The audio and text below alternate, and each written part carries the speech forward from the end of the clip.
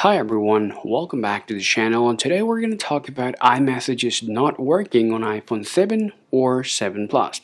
Now suddenly if you're facing that your iMessage is not working, then you can have a trouble sending iMessages with your friends and your family. At this point of time, you probably are seeking for the best solution. Well, if you're going to go ahead and follow every single process that we're about to reveal in this video, then you'll be able to solve any problem that is related to your iMessages. Well, the first things that you can simply do, you simply can use either your Wi-Fi or your cellular. So if you're seeing that your Wi-Fi and cellular are turned on at the same time, then this problem can happen. So after just switching either from cellular or Wi-Fi, it will solve your problem. But if it doesn't, simply can go ahead and check out the next way to solve your problem. The next things you just want to go ahead and do is to turn off your VPN because your VPN can cause this issue very often, okay? Now you can simply tap your settings and then you can simply tap your VPN from here and then if you see your VPN is connected, make sure to disconnect it from here for being able to solve your problem. Now, even after doing that, if you're still having the same problem, guys, the next things you want to just check is your date and time. If because if your date and time is not correct, then this problem very likely happened with your iPhone 7 or 7 Plus.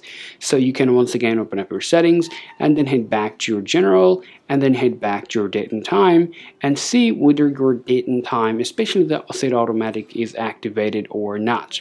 You gotta just toggle this on and then your time will be fixed and your problem will be solved. Now, even afterward, if you're still having the same problem, guys, the next things you gotta do is just go ahead and open up your settings and then scroll down all the way to your messages and then tap to open it. Once you're here, make sure your iMessage is either activated with your number or your Apple ID.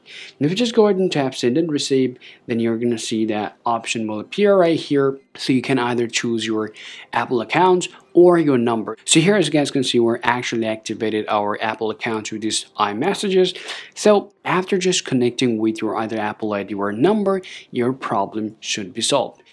Well, even afterward, if you're still having the same problem guys, last but not least thing that you can do is simply can turn up your content and privacy restriction for solving this problem.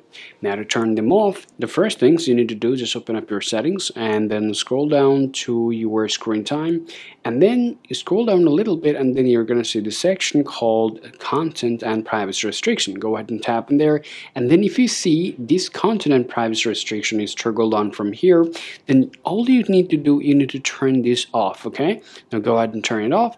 And now, all you have to do just go ahead and check whether you're being able to solve your iMessages issue or not.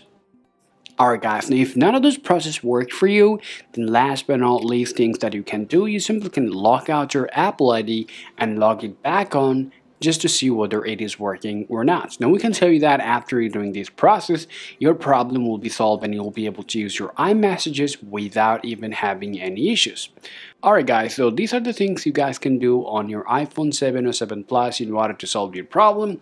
Hope this video is useful for you. If you think so, be sure to leave a like and subscribe to the channel. Thanks for watching and I'll talk to you all later.